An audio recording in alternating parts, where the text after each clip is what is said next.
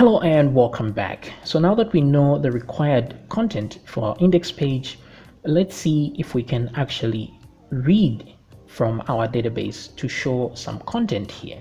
So what I will do is go to my uh, admin section and go to posts or posts or just click on posts there. There's only one post here, but uh, I can add one more. So let me click on add new so that we have uh, something to see. And then here I'll add a title. So I'll just say a new post. And then instead of typing some content, I go to loremipsum.com and copy the dummy text there. So back here and I will paste. Okay, good. So done, publish, publish. Okay, goody. Let me add another one click on add new again. Uh, let's say another post. And uh, let's paste the same dummy text and publish publish. Okay cool. Back to all posts. And then here I refresh.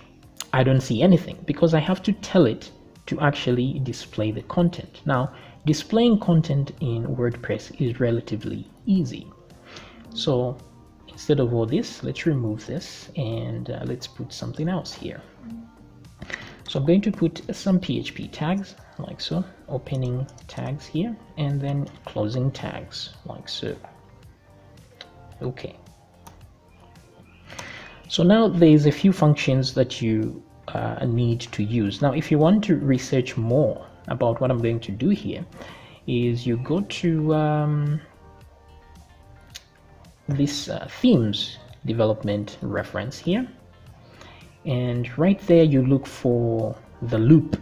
So theme basics here. So once you click on theme basics there's the loop. So this is the page we are talking about here. So it gives you examples here and all the functions that you can use down here. So the function we're looking for is is uh, no not one of these. Actually it's not here. But it's there in the sample. Here you can see it. So the first thing we check for is if there are posts at all and you do that by saying have posts like this. This is a function so do that. Once you check if there are posts then you put a loop like this and you still check uh, using the use the have posts like so and you loop through that. Now, if you were to run this, this is going to be an infinite loop and your browser will crash. So the important thing here to do is to add another function called the post like this. This post will make sure that when you're looping through here, whatever you're looping through is reducing step by step uh, so that at some point it becomes empty then the while loop will stop. Otherwise without this this loop will continue going because have posts will always have something in there and uh, things won't go very well. So what I want to do here is uh, let me move out of uh, let's see move out of PHP here and move back in like so that way I can type some normal HTML here. So in order to show a title, all you have to do is use the, the title. You say the title like this. That's the function, but it has to be in PHP. So I'll put my opening and closing tags like so. So you don't say echo the, the title, no, you just say the title because it echoes the title itself. Usually the way um, uh, the way WordPress works, if you have a function like this that echoes something, usually when you type get underscore, uh, then you get the same result, only that this time you can send the result to a variable like this. Because otherwise, if I just say the title like this, it echoes it by itself. I don't need to say echo. So just remember that. Now let me put an h1 tag here so that we can clearly see what's going on. Okay, so h1 tag the title. And then let me put a paragraph uh, thingy here. And then inside here I will put uh, the content okay? So content like so. So if you check that page I showed you oh this is there. So let's see and then after this I want a horizontal rule so that we can see where one post ends and the other one begins. So this is all you need to display posts. So if we go back to our page if I now refresh you see that we have posts here and this line denotes where one post starts and the other one ends. So we have hello world we have a new post and another post right there. Okay so this is how you display information here now instead of showing all the content a good way is to show the excerpt here which is a shorter version of the content like that. So back here and refresh. You see that we just get a brief uh, view of the post content and that is much better. So we have three posts here which is cool. Okay.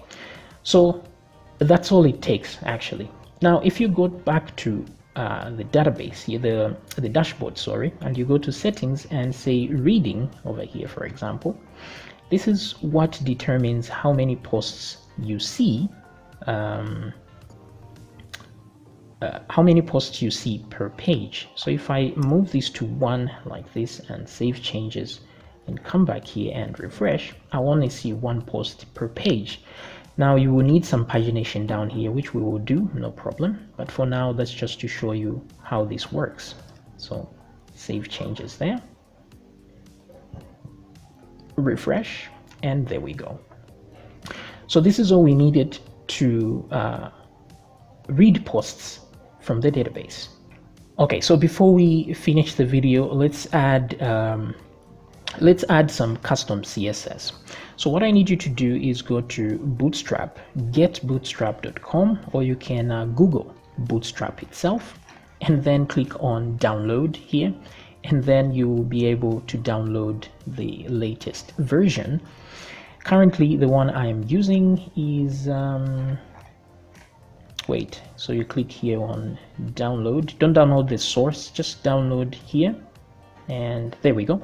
So it's a 1.3 MB file which is rather small so get that file and you will be good to go okay so then you can also go, if you want to be able to use icons, the icons I'll be using, you can go to fontawesome.com and do the same thing and download. So there's, um, where is this? Where do you download here? I think it's in the docs. Uh, yes. Font awesome. There we go. And this version 515 this is slightly higher than the one I have. So you can get the free uh, version. There's a paid and then there's a free version for icons. At least so we can use icons from here. Wait a minute where is the download button anyway? This is weird. Uh, basic use. Okay so it's down here where it says basic use and uh, pro required free plan. Oh my god where do they take these uh, download buttons? These uh, people are insane. Let's try this. Let's see. Free solid plan. This is weird anyway you can uh, go around and fidget on this website uh, just to make sure you download uh, a copy of the folder that is required. Okay so once you're done with that uh, let me go to where ooh, where I actually added this. So let's see here okay so this is my bootstrap. So I extracted the bootstrap here. So maybe let me get this one. And font awesome also will come with uh, a folder like this. So let me go to razor sharp and paste the content. So I just made a copy and pasted. Then I extract to each separate folder. Um, okay. Goody goody goody goody now I can remove the um, the zip files because I have a backup of those. So we have Bootstrap in here. Now, in order to add Bootstrap, it's important to learn how to add external files. So that's why I'm doing this. So let me put a new folder here called assets. Okay, that's fine. Now, the thing is, let me explain something here. We're not going to include our CSS files in the head like we normally do when making a normal website because like I said, we need WordPress to add these things for us in here using the WP head or the footer. Okay, so don't add things directly here. We're going to use another file called functions.php. Okay, so that's where you add all your content. So I'm going to right click here and say new file, save, and call this file functions plural.php. Okay, so this is where we're going to tell it to include our style page. But for now, let's just do the copying and pasting that we need. So I'm going to go inside the Bootstrap distribution and CSS. The only file really needed here is the bootstrap.min.css. So copy that file back here in the assets so inside the assets, let me add a couple of folders as well. CSS folder, uh, JS folder, and then finally uh, images folder. And uh, maybe you want to add fonts. You can add one of those folders as well. Fonts, yes. Now let me paste my CSS in there. Okay, good. And then if I come back to Razor Sharp here, I need the JavaScript as well. So JS also bootstrap.min.js so back here assets uh, in the js paste it. And then finally i'll need that font awesome folder. Hopefully you managed to download that. So go inside here and i'm going for the css file which is all.min.css so back to the css paste now for the min file to work in font awesome it needs to reference uh, it has a reference. You see, this is where the file is, but if you go a folder up, there's this web fonts folder. So it has to reference the contents of that. So I'm going to go back here inside the assets and paste the web fonts here. Now the reason I'm pasting them here is because I need it to maintain the file structure where the CSS file in here, but the web fonts are a folder upward there. So let's test all this before we delete these unwanted files. So I'm going to go back to my uh, content here. Now, in order to add, um, let's put some PHP tags here first. Now, don't put a closing tag here because we don't want any HTML after the closing tag. So uh, PHP would do it for you if you don't close the tag. So we need a um, a function called wp enqueue uh, style like this. So there's one code enqueue style and there's one code enqueue script. So what this does is it will add our script to the page using one of these WP head or WP footer. Okay, so what you need here is to give it a, uh, you can check what this function does in the reference but you need a uh, what do you call this? A, an ID for your style. So I'm going to add bootstrap. So I'll call it boot you can call it anything you want. Let me just say boot 01 doesn't really matter. And then the next thing is I need where the file is. Now it's hard to know because people can change where the uh, the themes reside on their website. So it's never a good idea to hard code the path to your files. So conveniently, there's a function called get template uh, directory like that. And then I will add to it the remaining part, which is slash assets. Sorry, assets, then slash uh, CSS slash bootstrap.min.css like that then I'll stop this so I haven't added this inside any hooks or whatsoever. I just want it to load immediately we run this. So let's see if we're going to get any changes to our text because Font Awesome would, oh, sorry, not Bootstrap actually, will change the text. So refresh and we don't get anything. Now, if I go into the, um, wait a minute, if I echo out this, so I want to echo this right here at the top, I want to see what the problem is. So in case you have an issue with paths, just echo it out. So I have echoed it here. So the problem here is that I need to use HTTP in order to include uh, CSS files and images because we are using a rewrite here, uh, a htaccess rewrite.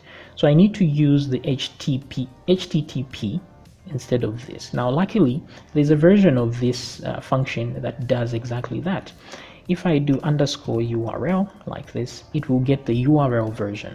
This one is good for including files and just PHP files, not images and uh, CSS file. So if I refresh now, you see uh, it's saying this uh, function is unknown. That's because it's not URL, it's URI.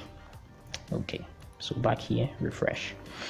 Okay, so now you see it starts with HTTP, which is nice so which means this time it will actually work so remove this and the underscore URI like this and then come back here refresh and um, nothing has changed at all. So why is that? Hmm. Something missing here. bootstrap.min.css assets is that correct? And then css and then bootstrap.min.css okay. So maybe the file is being included at the wrong place so what we need to do is tell it where to include this file. So i'm going to create a uh, add action like so. Now if you remember this is how we add a hook. So the hook we are looking for is the init. So we want this to only happen once we do the initialization. And then I'll create a function here that I will add this to. So it's a good idea to make your functions unique because in case somebody else types the same function in their plugin, you're going to have problems. So the best way is to type razor sharp like this. You type your theme name here and then put underscore and the name of the function. So I'm just going to say uh, add stuff like this for now because this is temporal so I'm going to copy this and then create a function that will run at this point. So see that and do that. Then I can now move this guy in here. So what I'm saying here is that add an action during the init hook and then run this function which is right here. So maybe that was the problem. So let's refresh. And apparently that isn't the problem. So something is up here. Uh, let me copy this. Let's try again and do an echo shall we? What is going on? So we can see what the path is.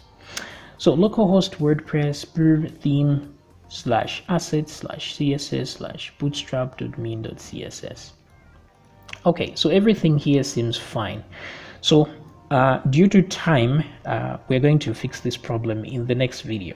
So I'll leave it here and uh, let's see why exactly our bootstrap isn't working. I'll see you then